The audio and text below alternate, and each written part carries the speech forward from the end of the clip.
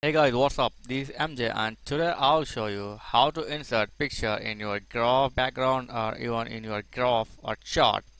So this is a graph which I'm going to use.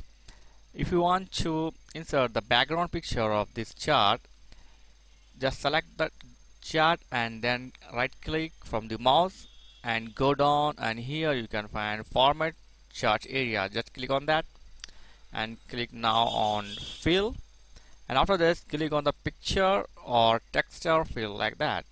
And here you will find some texture to add your graph or chart in background. Look at that.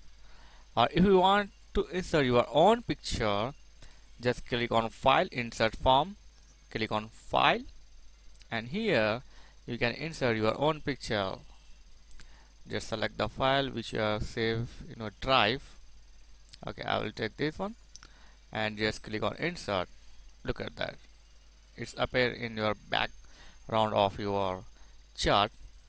Or if, even if you can change the figure or picture to your chart bars like that if you want to change this bar or column chart into picture just select the columns and just right click on that and remember one thing just observe if you want click the one time your all column will selected. Look at that.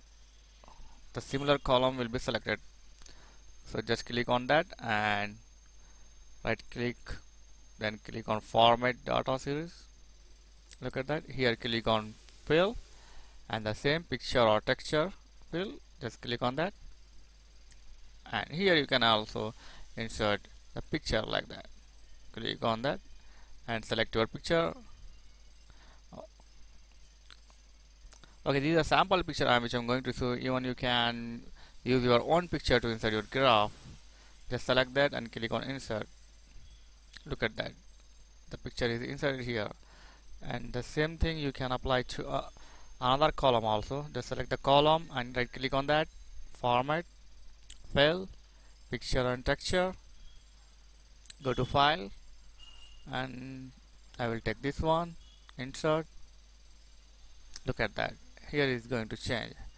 So at the same you can change your all column graph to each and every different picture. So that is for today. And see you next video. Thank you for watching. Please don't forget to like comment and subscribe